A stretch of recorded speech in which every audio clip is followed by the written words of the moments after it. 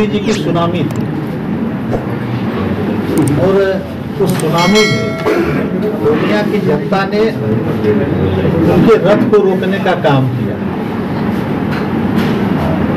और हम लोग सभी विधानसभा में उस वक्त भी जीते। और इंडिया गठबंधन, आज तो इंडिया गठबंधन हमारा हो गया है। और 24 में इंडिया गठबंधन का कैंडिडेट संतोष कुमार थे और 2024 में संतोष कुमार पूर्णिया गठ इंडिया गठबंधन के कैंडिडेट रहेंगे। इसलिए दिमाग में सब लोग साफ़ कर लीजिए कोई किसी को भ्रम में रहने की आवश्यकता नहीं है। आजकल कुछ जो ये कुछ जो तथाकथित पूर्व सांसद पप्पू यादव घूम रहे हैं। कुछ लोग इसमें कुछ लोग एक छोटे से कमरे में बैठ जाते हैं, कुछ होटल वाले। वहीं पे सरकार बना देते हैं, वहीं पे सरकार गिरा देते हैं, वहीं पे गठबंधन बना देते हैं। वहीं पे गठबंधन तोड़ देते हैं, वहीं पे कैंडिडेट भी तय कर देते हैं।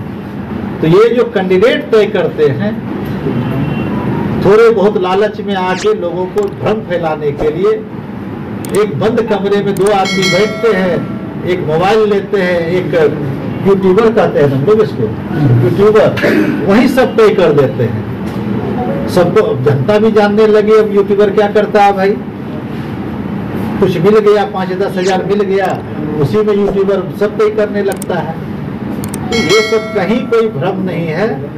इंडिया गठबंधन, यहाँ से जनता दल यूनाइटेड दो बार चुनाव जीती है तीसरी बार भी लड़ेगी और तीसरी बार भी जीतेगी इसलिए किसी को इस पे कोई भ्रम रखने की आवश्यकता नहीं।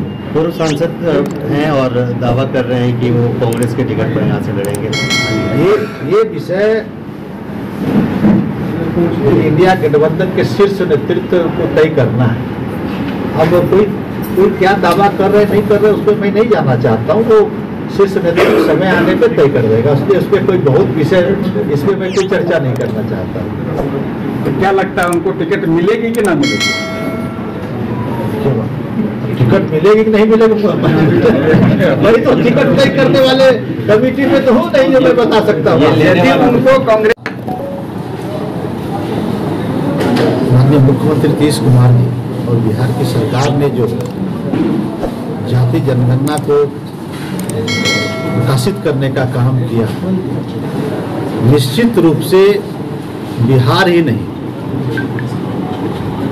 आज पूरा देश नीतीश कुमार जी की, के तरफ़ देख रहा है और बिहार पहला राज्य है जो जाति आधारित गणना करा के प्रकाशित करने का काम किया है।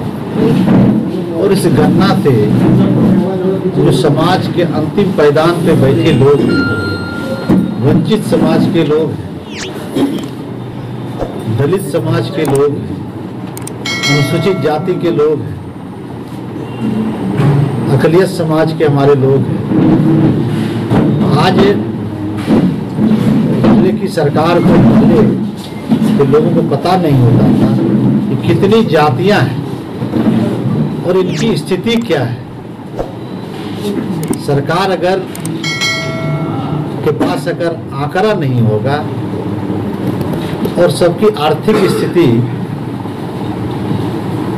की स्थिति का पता नहीं होगा तो आज जाति आधारित गणना हुआ है। आर्थिक रूप से भी उसकी समीक्षा हुई है। तो अब सरकार को भी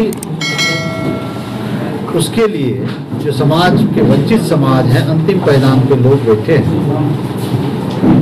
उसके उत्थान के लिए, उसको आगे बढ़ाने के लिए सरकार अब नीति बनाएगी, उसके लिए कार्यक्रम बनाएगी। तो उस कार्यक्रम के माध्यम से जो पीछे हैं, उनको बराबरी में लाने का काम किया जाएगा, उसको आगे लाने का काम किया जाएगा। और यह जाति आधारित गणना निश्चित रूप से हम माननीय मुख्यमंत्री जी को सभी लोग बधाई दे रहे हैं। और जो पिछड़ी जातियाँ हैं, अति पिछड़ी समाज के लोग हैं, अनुसूचित जाति, अनुसूचित जनजाति की जो छोटी छोटी जातियाँ हैं, आज सभी लोगों में खुशी है कि हमारी गणना हुई है, हमारे लिए सरकार सोच रही है। आज बहुत बड़ा काम है। और जाति गणना के साथ साथ जो आरक्षण है, आज ज़रूरत है कि आरक्षण को बढ़ाने की आवश्यकता है। और देश के प्रधानमंत्री जी को भी पूरे देश में केंद्र की सरकार को जाति जनगणना करानी चाहिए और इसकी समीक्षा करानी चाहिए समाज में हर राज्य के हिसाब से तय करना चाहिए कि जो समाज में दबे कुचले लोग हैं, उसके उत्थान के लिए केंद्र सरकार को भी नीति बनानी चाहिए और जो आरक्षण है, उसका दायरा बढ़ाना चाहिए, जिसकी जितनी आबादी आबादी के हिसाब से हिस्सेदारी तय करनी चाहिए ओबीसी वर्ग के लिए, जनरल वर्ग के लिए और जो हमारे अनुसूचित जाति, जनजाति समाज के लोग हैं और इसमें आरक्षण बढ़ाने की हम सभी मांग करते हैं केंद्र सरकार से, सरकारी नौकरियों में आरक्षण और प्राइवेट सेक्टर में भी आरक्षण की व्यवस्था केंद्र सरकार को करनी, करना चाहिए। दो विषय है, एक तो जाति आधारित गणना पूरे देश में होनी चाहिए और आरक्षण को सरकारी नौकरी और प्राइवेट सेक्टर में दोनों जगह सरकार को तय करना चाहिए और आरक्षण का कोटा बढ़ाना चाहिए। बीजेपी ने कहा है कि जातीय जनगणना में गड़बड़ी है और सरकार से पूछ रही है कि जो आर्थिक जो सर्वेक्षण किए हैं आर्थिक रिपोर्ट कहा बीजेपी का आरोप। आरोप है तो कल तो सर्वदलीय बैठक बिहार में किया गया बैठक है के बाद कहा और उसमें जो भी है उसकी समीक्षा हो रही है।